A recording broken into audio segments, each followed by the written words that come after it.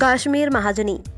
बहुत अच्छी तरीके से जानते होंगे आप काश्मीर महाजनी को, क्योंकि आदित्य के कैरेक्टर से इमली शो में वो बहुत ही ज़्यादा फ़ेमस हुए हैं। और यही वजह है कि काश्मीर महाजनी अब हिंदी टीवी इंडस्ट्री में अपनी एक अलग पहचान उन्होंने बना रखी है।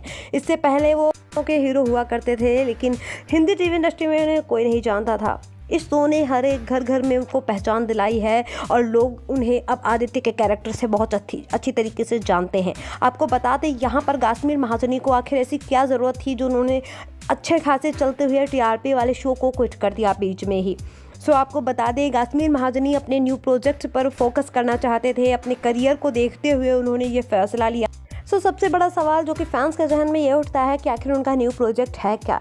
कौन से ऐसा प्रोजेक्ट था जिसके लिए उन्होंने इतने बड़े शो को क्विट कर दिया?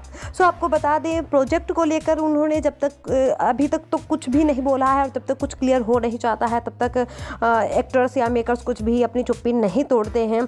सो आपको बता दें, वो प्रोजेक्ट जहाँ तक कया से लगाए जा रहे हैं बॉलीवुड में हो सकता है उनको एंट्री हो रही हो या फिर वेब सीरीज़ में उनकी मेन लीड रोल में एंट्री हो रही हो तो इसी वजह से उन्होंने अपने शो को क्विट कर दिया, क्योंकि डेली शो में तो आप जानते ही होंगे लंबे टाइम तक शूट होता है, जिस जिस वजह से दूसरे प्रोजेक्ट पे काम कर पाना बड़ा मुश्किल हो जाता है, और यही वजह रही कि उनको ऐसा फैसला लेना पड़ा। इसके अलावा बता दें आपको, रूबीना देरेक और दृष्टि धामी को लेकर खबरें आ रही हैं।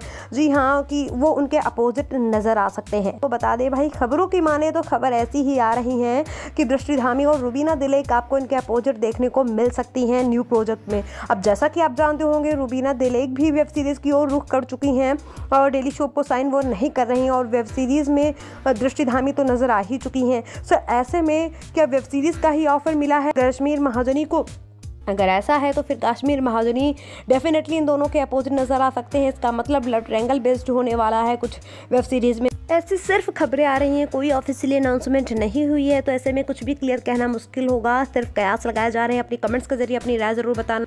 इस जोड़ी को देखने के लिए आप कितना ज़्यादा एक्साइटेड है, वीडियो अगर अच्छा लगे हो तो लाइक शेयर करना ना भूलें। Thank you for watching